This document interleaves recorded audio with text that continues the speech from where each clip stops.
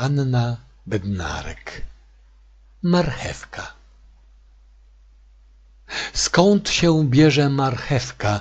Zapytała Stasia Ewka. Nie wiesz? To niemożliwe. To pytanie podchwytliwe?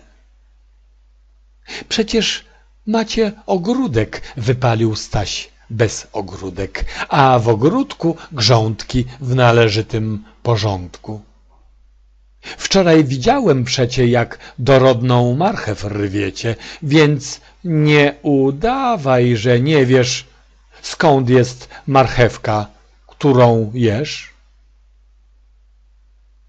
Ochotę na nią miałem, gdy was wczoraj podglądałem.